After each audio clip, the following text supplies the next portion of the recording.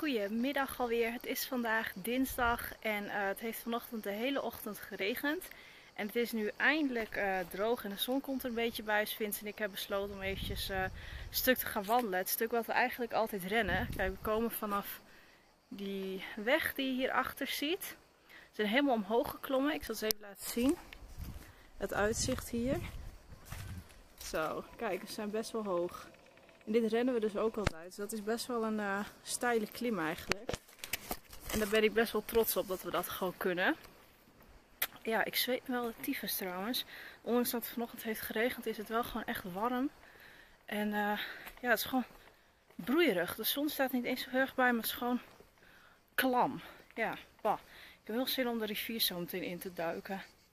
Zo, en hier zie je een keertje die kanovaarders op die kanoglijbaan van bovenaf. Ook wel grappig om het zo hoog te zien.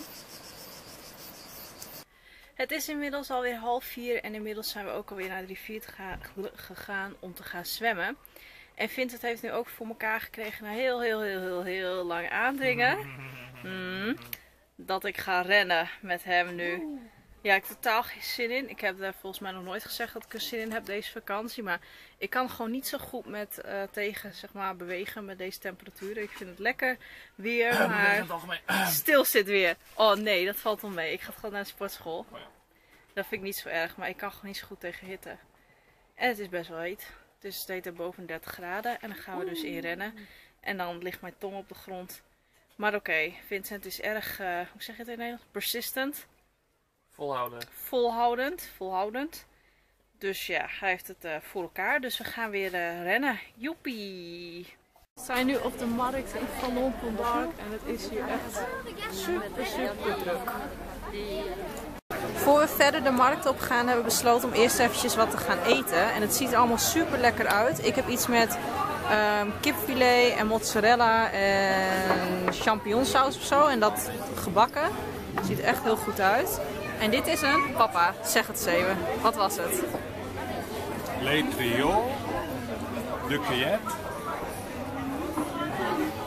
Ast. Hasta la vista. Oh, nee, dat was niet. Hij had het zo goed uit zijn hoofd geleerd. Nu ben je het vergeten. Besteld en vergeten.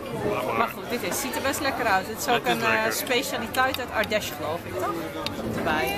En Kelly heeft pasta verde. Pasta pesto. Oh, pasta pesto verde. Daar zat ik ook tussen te twijfelen. Die artisan. Wat zei je? La... La... Trio?